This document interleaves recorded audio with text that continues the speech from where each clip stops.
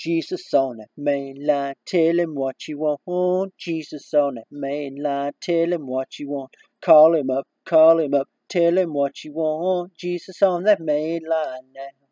If you need a healing, tell him what you want. If you need a healing, tell him what you want. Jesus on that main line now. Call him up, call him up, tell him what you want. Jesus on that main line now. If you need a deliverance, tell him what you want. If you need deliverance, tell him what you want. Jesus on that main line now. Call him up, call him up, tell him what you want. Jesus on that main line now. Jesus on that main line now. Just call him up and tell him what you want today. There is victory for the Christian who walks never way.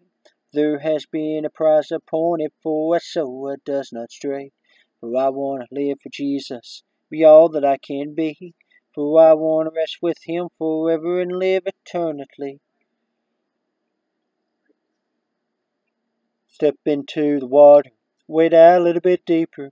Come join angels sing singing praises to the Lamb of God, to Lamb of God, to Lamb of God. Praises to the Lamb of God. God, just pray that you touch each and every heart this broadcast, Lord. Let the addictions begin to flee off of them today. Let the bondages of sin flee up against them today. Let the devil that's attacking them flee in the name of Jesus today. Whatever's happening in their life, God, make a way where there seemeth no way. And God, I know that you can because you're the Alpha and the Omega, the beginning and the end, the first and last, he that is and he that was forevermore. And God, we give you all praise and power and glory for everything. The Bible says, speak those things they are which they ain't. And God, we speak blessings upon each and every life, not cursings, but blessings upon each and every life today. And to each and every person listening to the broadcast, I encourage you today to speak blessings upon your lives. The Bible says, in the power of our tongue, we have all power to speak both blessings and cursings upon our lives.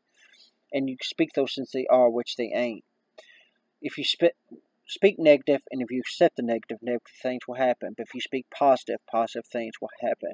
Keep your mind upon the positive today, not upon the negative today. Just keep your mind upon the positive. You know, I'm trying to get back to the old me, and the old me was very positive. The old me was not negative. The old me was positive through everything. But you know, somehow along the way, I kind of lost that way. But I need to get back to that old me, that old path, that that part of me that when the devil come up against me, I, I still said, God, you can do it. God, you can still you can still make it make the way. And that's what we all need to do today. It's just put trust upon